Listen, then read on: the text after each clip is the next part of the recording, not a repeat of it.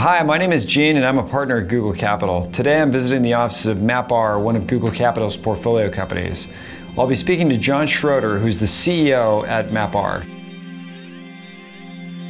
John, thank you very much for being here. We'd love to hear a little bit about your background and what, uh, what brought you here today. Well, I was born in Chicago, and uh, but I moved out to California in 1979. So my blood thinned out. I, I, think it's cold when it's about 50 degrees out. Prior to starting MapR, I'd done three technology startups, and um, they've all turned out well. One one resulted in a public company called Brio Technology in the business intelligence space, and the two others were acquired by Microsoft and EMC. And, and after those exits, I had a little bit of time to goof around. On one of those breaks, I took up aerobatics uh, flying as a pilot, and that's where you're you're doing maneuvers, right? So you do loops and rolls and the hammerheads where the plane goes straight at the sky and then falls off. You know, when I tell you that, you're probably thinking, oh, John's a, a daredevil or a thrill seeker. When he was a kid, he was probably jumping off the roof of the house. It had occurred to me. Yeah, yeah driving his parents crazy, and I'm actually a very conservative guy. It's kind of the same thing about technology startups. If you do the same sort of things to prepare, you prepare yourself, your own skills, get the right resources, surround yourself with the right team,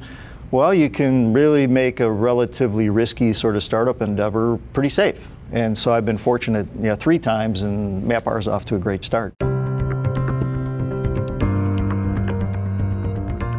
There's obviously some you know, memories we have of those first days in the first office. The house air conditioning wasn't strong enough, so I know I went on uh, Craigslist and found a MovinCool. And what MovinCools look like is uh, they look like a space robot. So they're like a big box, but the the uh, ducting comes out like arms, and they're uh, you're able to redirect them. So it looks like kind of a, a, a a space uh, robot from like 1950 or 60 sci-fi movie. The engineers, uh, they all called it Old Old Faithful because about once an hour in the in the lunchroom, this thing would start spurting and spitting water all over the place like a geyser. We're much more sophisticated now. We're in a 90,000 foot facility. We've got massive data center space. MapR is at the center of big data, and we've got the technology leading distribution for Apache Hadoop in the marketplace, and we've got over 700 customers, uh, which is more than anybody in our space. We're up to around 330 employees so far. Uh, company's growing like crazy. We've doubled uh, bookings and revenue year to year this year,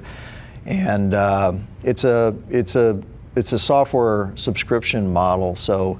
Our, we, we have high gross margin products. Definitely a land grab out there, but you want to grab the land you want, right? So you don't want the swamp properties, you want downtown Manhattan. So the high value customers are where we really focus our growth efforts. I am really fortunate to have just top tier investors at, uh, at every, every financing we've added another really uh, strong asset. But Google Capital is unique as far as you bring much more operational assistance to the company, than my venture investors. I've given presentations and I've said, you know, why did I build the product like this? And I'll say, uh, well, well, the first thing I asked is myself is what would Google do? If they were presented with this situation, what would Google do? Because they're kind of the bellwether on what the rest of the industry is going to be doing five, ten years later. John, along the way in your career, what's been some of the best or worst advice that you've gotten along the way from, from mentors and other folks? I think best advice is uh, how to manage capital.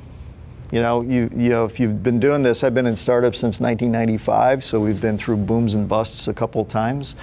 And I've gotten good advice about when to conserve and, and when to raise. And uh, certainly when capital's available, you should take advantage of it. Um, but you should also sock some away and make sure that if there is a bust period, if you have a a drier period where capital isn't as available, you can operate your company with a lot of headroom. Really instructive, John, and thank you so much for taking the time today. All right, Gene, it's always good to see you. Thank you.